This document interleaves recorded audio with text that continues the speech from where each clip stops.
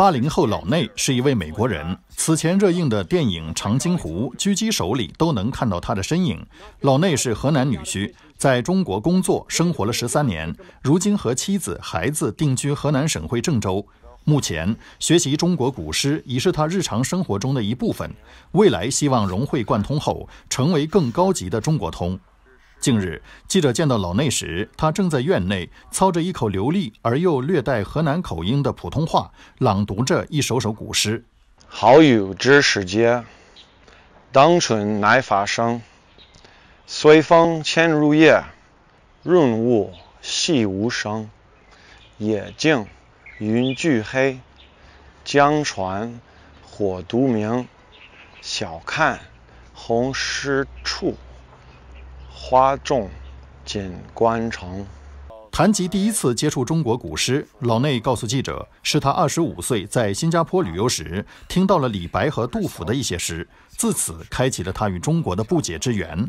我好像早就听到李白和杜甫啊，就在国外就听到了。这两个诗人一定是非常难理解，因为就是像中国人想理解莎士比亚一样，我我我肯定是要把那个语言了了解的非常深。才能明白，所以我当时感觉是个非常遥远的东西，很难很难，就是就是很很高级的、很高端的东西。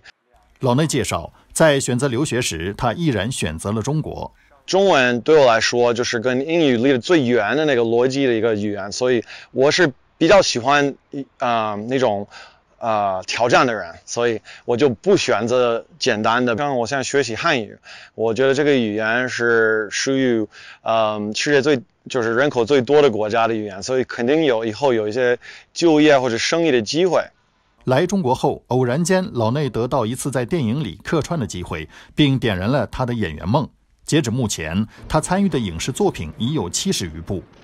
我发现当演员在中国也是需要讲汉语台词啊，所以很少有人可以一边讲流利的中文，还能还能演得比较像啊，这个很难。尤其是我发现很多中国电视剧喜欢把发把一些知乎者也的东西放进去，我就觉得太难了。我是慢慢的通过这个，就是那个提高了我的水平。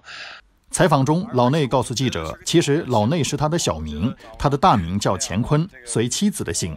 二零一六年，他为爱情来到郑州结婚安家。喜爱中国传统文化的老内，在今年春节用英文写了一幅寓意家庭美好的春联，挂在了自家门口。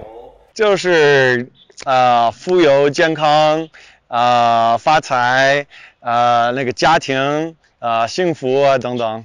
目前，除了演戏，老内还在河南一所大学教外语。